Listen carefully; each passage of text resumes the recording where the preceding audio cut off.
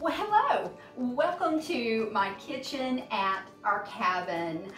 Today I am making scratch biscuits and sausage gravy at my husband's request. And honestly, there's not anything that he could have asked for that would be easier other than a bowl of cereal. Now, scratch biscuits only call for three ingredients. And that is your self-rising flour. I've got some buttermilk and I've got a stick of butter. I like the taste of the salted butter, gives the biscuits, but my grandmother and my mother always used Crisco, and sometimes I will too. Now, Jimmy's mother used vegetable oil. One of my favorite memories with his mother was having her and a few of his sisters over to our house and videoing his mother making her biscuits. Here's a picture of her that night.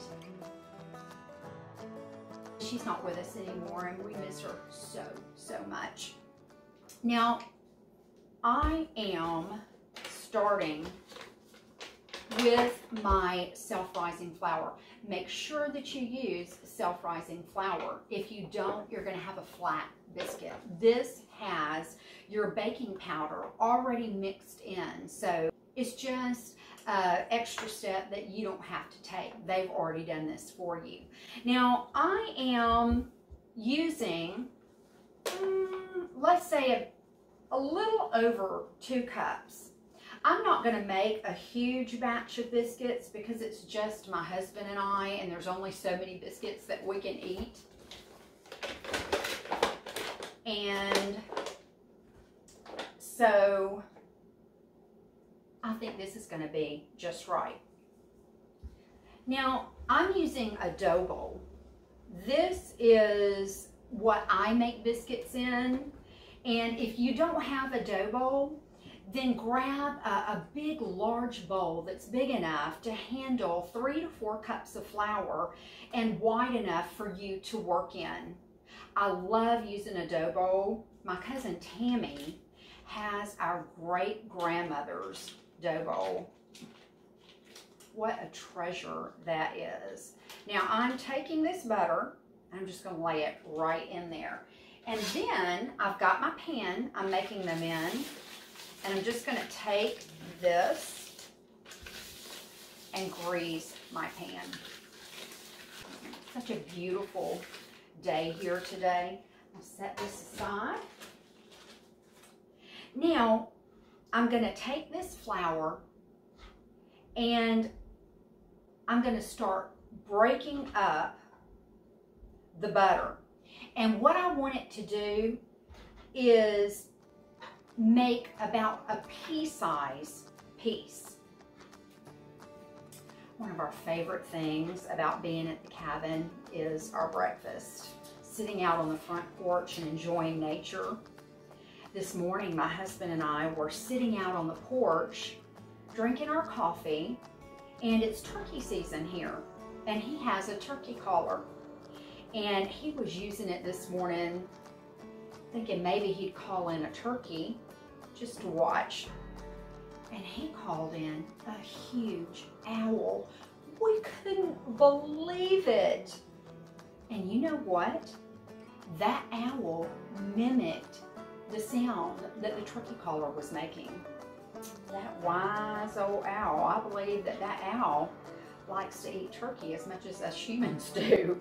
I've got a video of that and I'm including it at the end of this video. So make sure you stay tuned in to watch that. It is so cool. All right, now look at this. My butter is all mixed in. So what I'm going to do, and my butter was at room temp. I've got a little bit of flour out on the sides there, and I'm going to save that for later. And I'm going to make a well, just like that.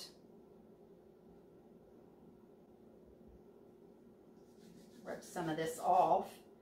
And now I'm going to take my buttermilk and you have to kind of eyeball the buttermilk.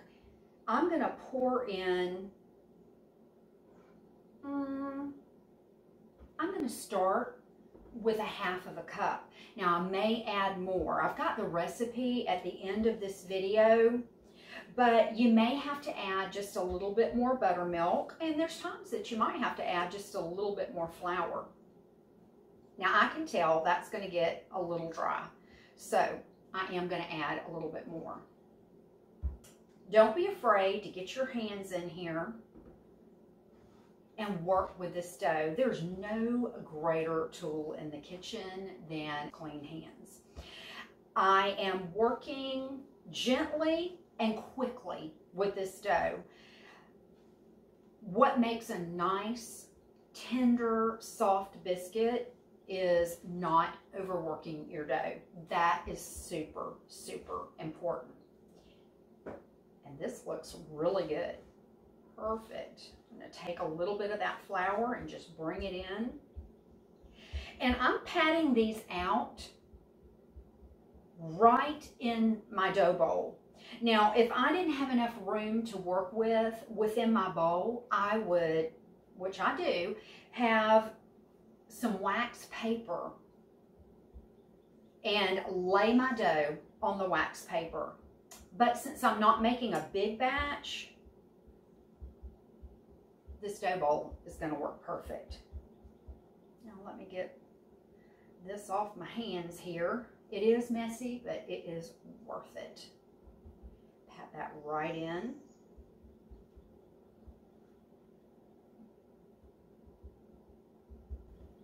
All right, let me wash these hands and we'll cut these up and get them in the oven. Okay, now let me grab my pan if I were at our house, I have a cast iron skillet that's really, really shallow, and I love to make biscuits in that. But here, I don't have one, so I'm just using this small little pizza pan. And I've also got just an old tomato sauce can, and I'm using that to cut my biscuits. I've patted this out to about a half of an inch thick. And I'm just going to pop that out.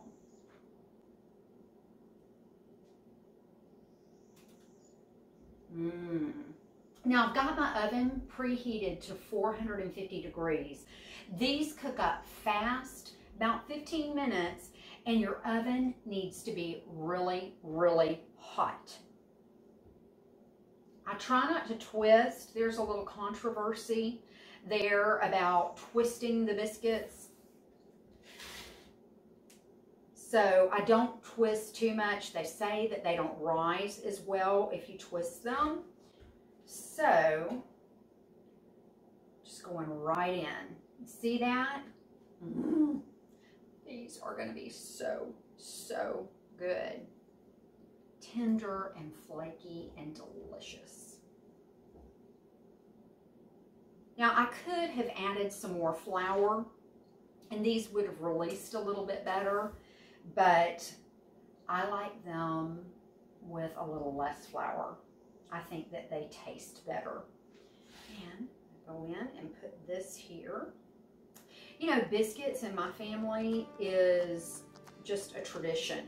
My mother makes them, my grandmothers made them, my aunts make them, and us kids make them. And it's just something that you learn to do here in the South. If you're to get married, you're to learn how to make biscuits. That's one of the first things that a grandmother or a mother will teach you when they're sending you off. Now, I've just taken a little bit of the dough and scrunched it together and that's gonna make another nice biscuit. Now something my mother used to do, she would take the last little parts of the dough and she would always make me a special biscuit and that was my biscuit and when she put that on the the biscuits on the table I made sure everybody always knew that one was mine And in honor of my mother today, I am to make a couple of smaller ones. And I'm shaping that in my hand there. These are to be so good. And look at that. Made just the right amount. I always make sure I make a couple of extra biscuits. My husband loves biscuits with sausage gravy, but one of his favorite things in the world after he eats is to take maple syrup and some butter and pour it all over that biscuit. Now to clean your hands up, just roll it off. At this point, it comes off really easy. It's not very sticky. And there we go. Now, back in the day, my great grandmother would leave this in her dough bowl and she would use a lot of flour. So usually the flour underneath wasn't, it wasn't messed with. And they would take it and put it back in the cupboard and use it the next time. Well, I'm not going to do that. that will be cleaned out. Now, you could melt some butter and brush it over the tops of these biscuits, but I've got some of this nonstick butter spray.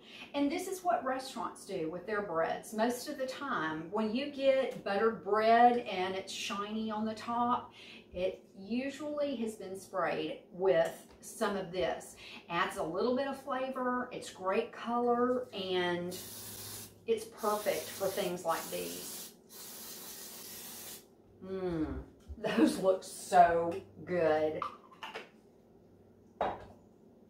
And I know that my husband's gonna want this one in the center. When we got together with his sisters, they would always talk about fighting over the center biscuit, who got the middle and who got the ends. I don't mind, just as long as I get a biscuit, I'm good. Now these are going into the oven.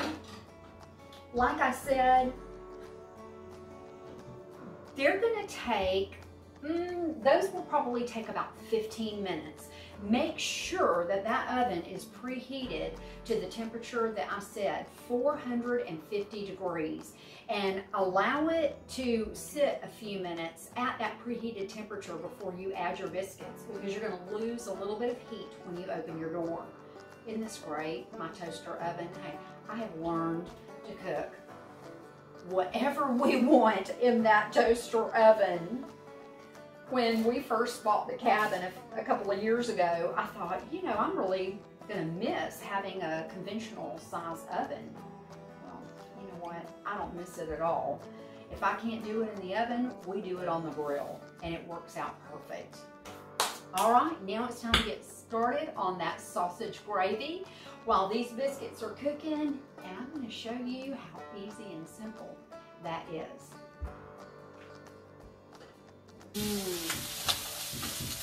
This sausage is getting nice and brown. Just going to break it up.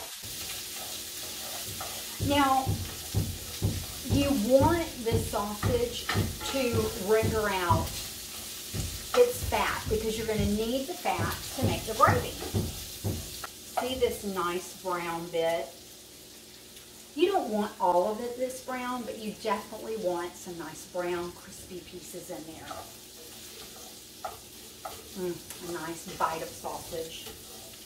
Now turn my heat down to, I've got it on number two here.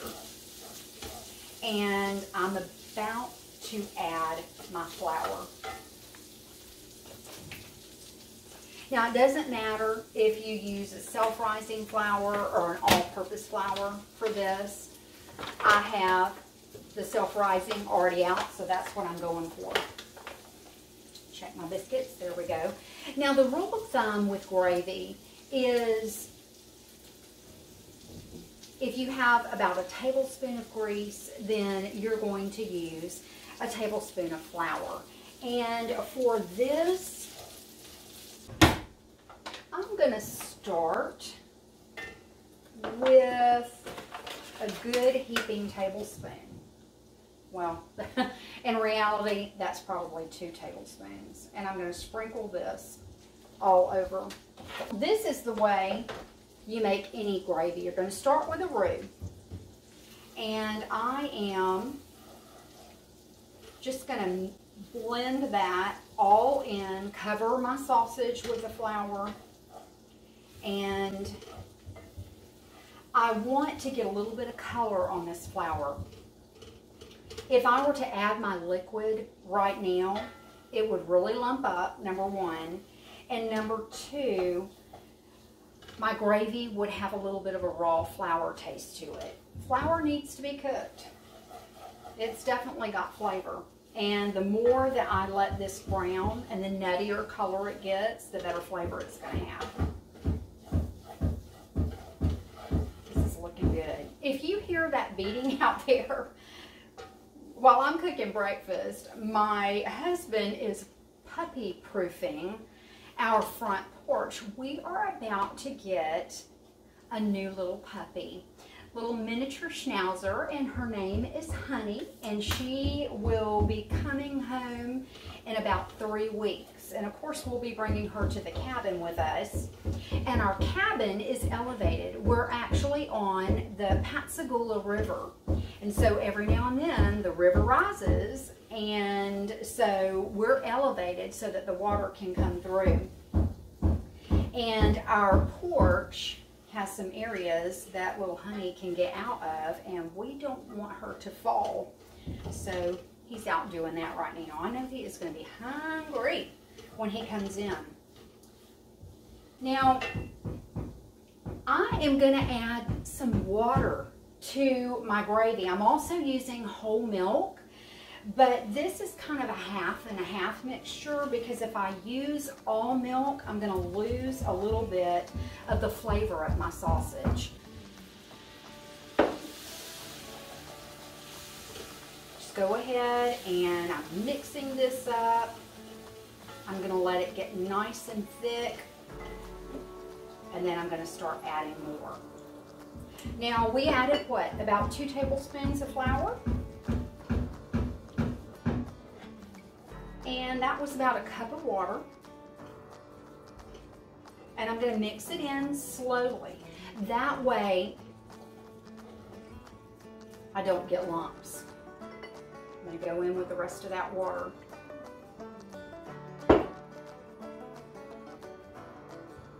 mix that up. I've still got my heat on a low heat. It's on number two. This is looking good. Now I'm going to start adding my milk. And I think this is going to take about a cup of milk. And again, I'm adding it slowly. Now my milk is cold. And again, I don't want lumps, so I'm gonna turn my heat up just a little bit. I've got it on num between four and five now.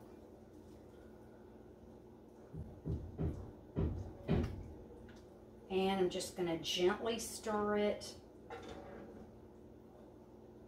and let that heat up. These biscuits are looking good. Now I'm gonna grab some salt if you want to season this with pepper, cayenne pepper, oh, love me some cayenne pepper. But my husband does not. So I'm going to leave that out and I can always add it myself later or some Tabasco sauce if I need it.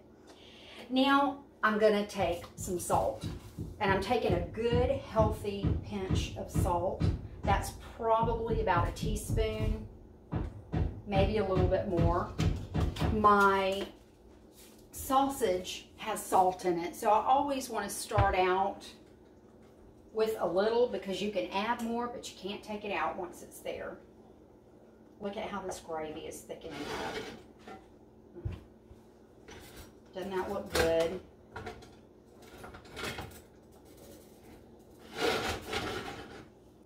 Now, I'm going to add a little bit more milk.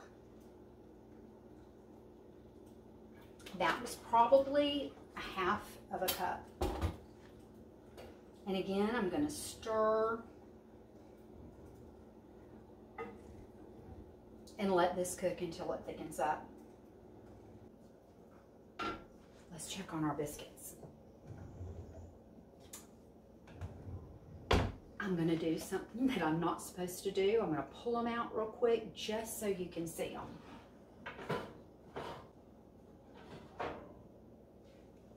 How about that? Don't they look delicious? They're not ready yet. I would say another two to three minutes, but conveniently, this little piece came off, so I'll tell you exactly how much longer. Mm.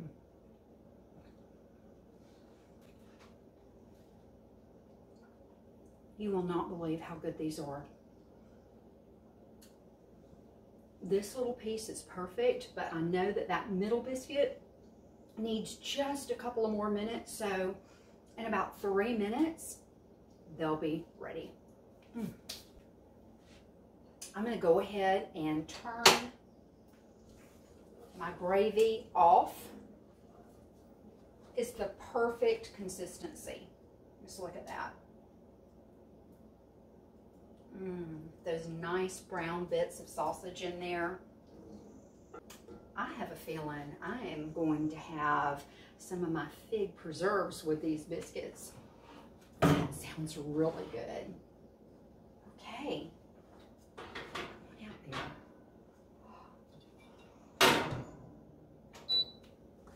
These are perfect.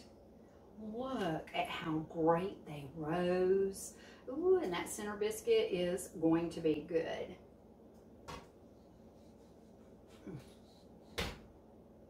You know, since a little piece of that broke off, I don't think it would be right if I didn't continue to eat that one with a little bit of this gravy. So I want to make sure it's good enough for my husband, you know. So, let me grab a plate here. And let's get this biscuit. Just break that right off. Ooh, they're hot now. Look at that fluffy, tender, perfect biscuit. Now, just going to take the top off of it. Oh, look at that, how soft and pillowy that is.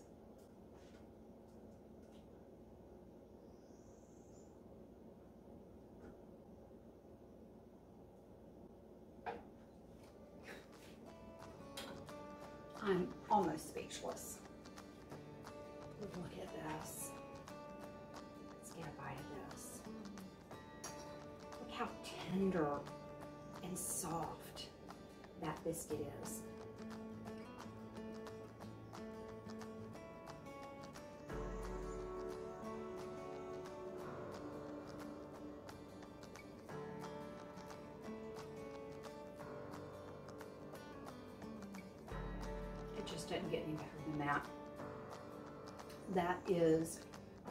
Absolutely delicious.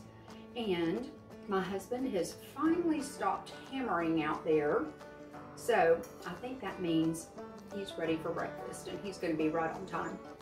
Thank you so much for joining me today. I always enjoy my time with you. Blessings to you and your loved ones. You are definitely a blessing to me. Hey, if you like my videos, press that like button. I love hearing from y'all. See you next time.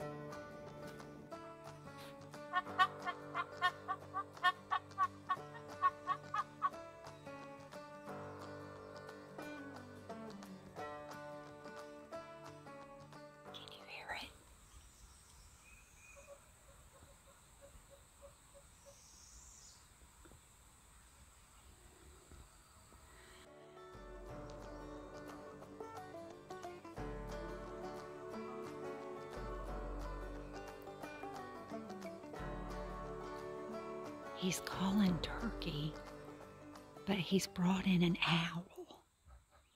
And the owl is mimicking the sound that the turkey caller is making.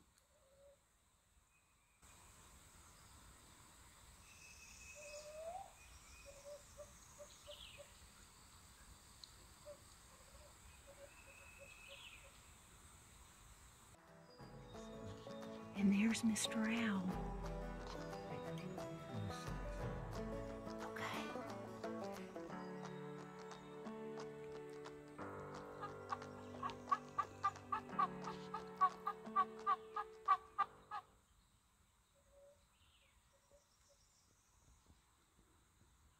It sounds like Morse code in turkey language. That is an alcohol.